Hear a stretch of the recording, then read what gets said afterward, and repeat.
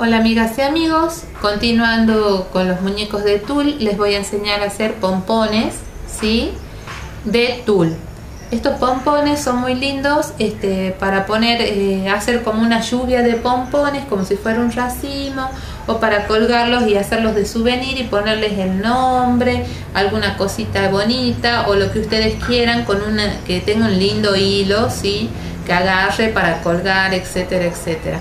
Por, eh, por el momento yo les voy a mostrar cómo hacer estos pompones de tul.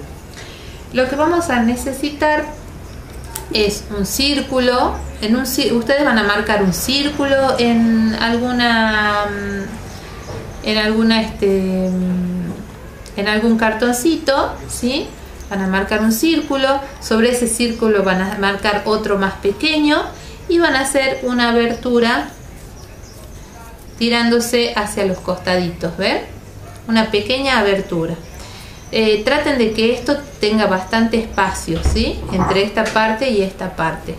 Entonces, ¿qué es lo que van a hacer? Antes que nada van a agarrar la cinta con la que quieran ustedes presentar después esto hacia arriba y la van a poner de esta forma, alrededor del círculo, del semicírculo digamos, y que cuelgue, que sobresalga, ¿sí? Entonces esto también va a ayudar a atar el pompón.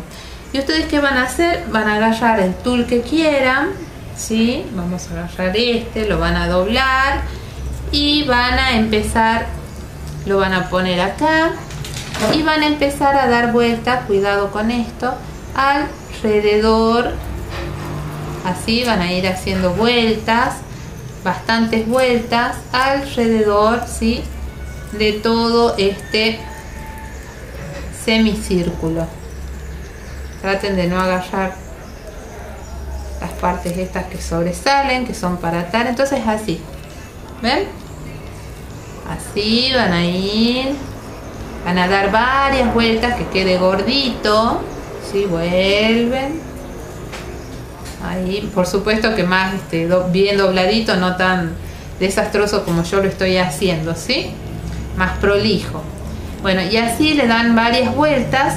Una vez que ya está esto, van a cortar, ¿sí?